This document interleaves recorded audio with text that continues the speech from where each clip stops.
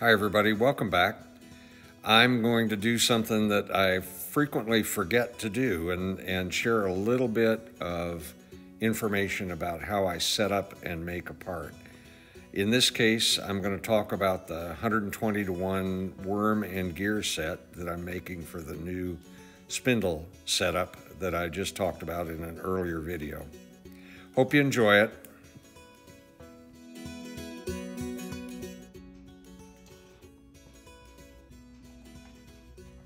Basically, most worm gears are um, a form of helical gear that you cut uh, without compensating for the, the helix angle.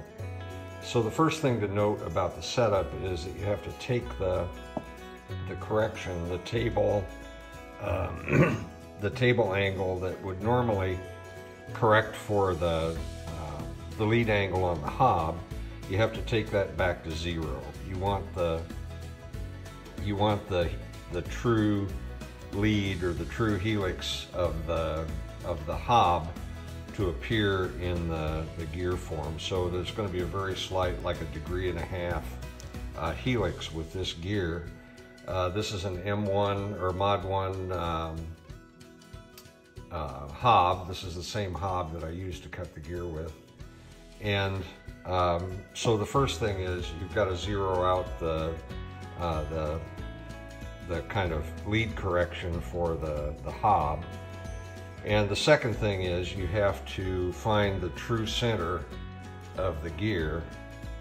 And the way I do that is by taking a piece of um, tool steel laying it against the side of the blank and then putting it against the side of the, uh, the hob.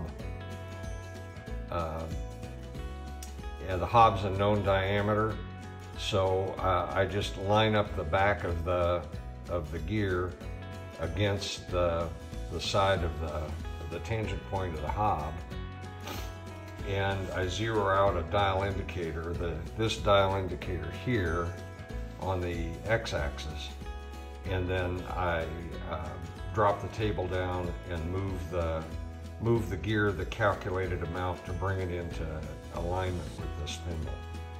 Um, it's, it's really uh, not that uh, complicated or difficult to do, but it's, uh, it's one of those things that uh, I had to kind of walk myself through the first time I did it.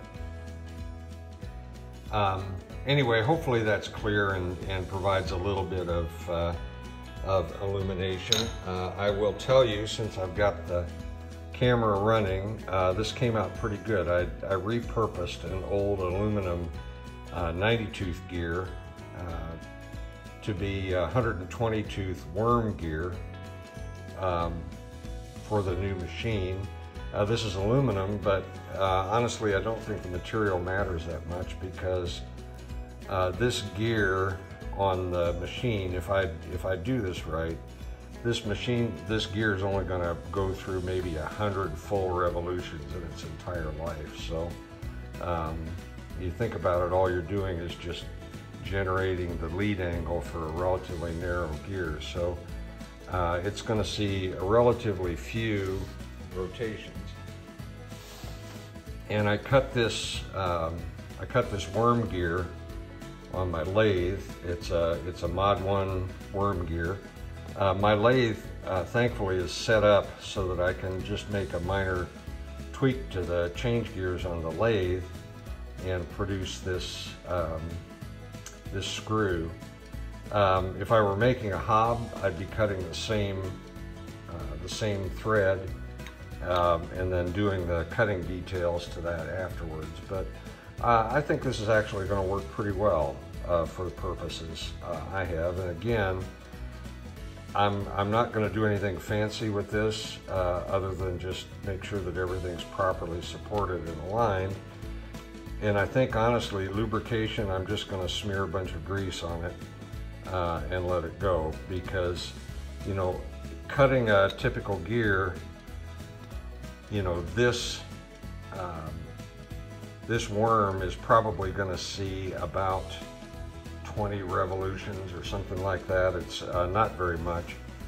Um, if you're wondering why this is so big, it's because I wanted to match the helix angle for the hob. So this is basically the same diameter as the hob.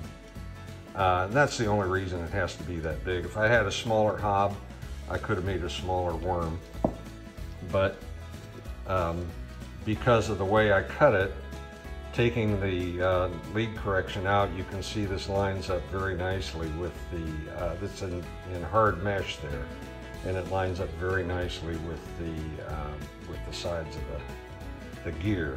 So that's, uh, that's what that's all about. Um, so I hope this helps. I wanted to put this brief video out just to um, to uh, start to get in a rhythm of updating with progress on this new spindle project.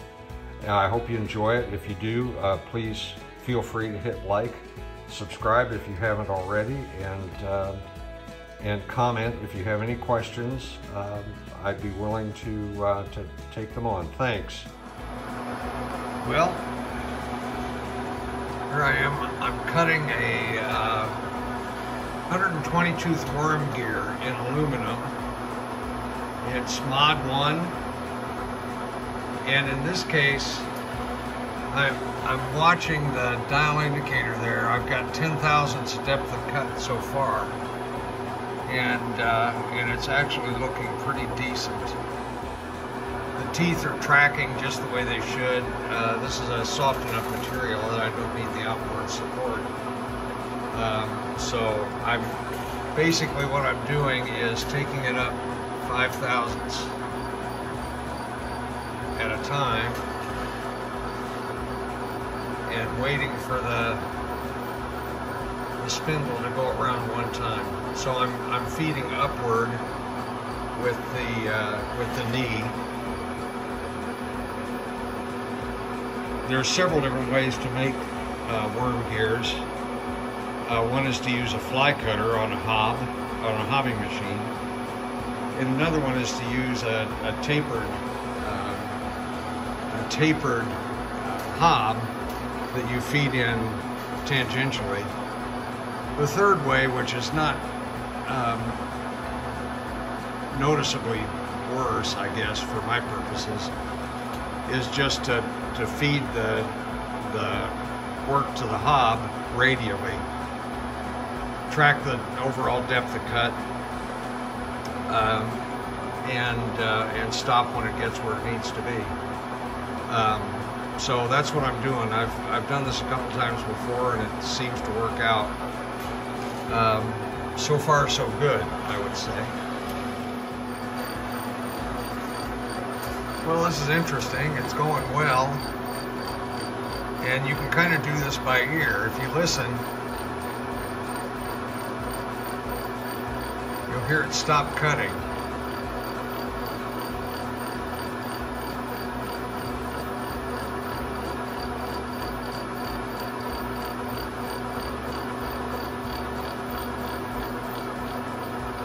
Right there.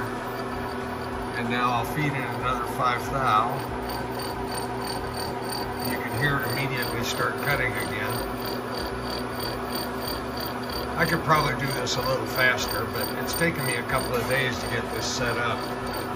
Uh, so I'm, uh, I'm going to make it last.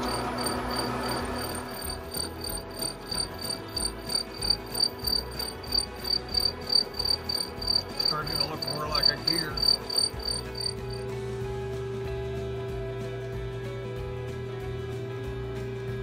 Well, it came out pretty good pretty small compared to what I'm used to, but it's uh, it's Mod 1. 120 teeth. I made this out of an old aluminum 80 tooth gear that was excess to need. And, uh, and what I'll do is I'm going to make a worm uh, that's just a slight bit smaller diameter than the hob I used and uh, which I'm told produces a crowning effect, so you get uh, um, more of a, contact pattern in the center of the worm gear. So anyway, um, this was uh, this was pretty good. This is the most highest tooth count I've made on my machine, and uh, I have to say that it doesn't look like I missed any teeth, so good deal.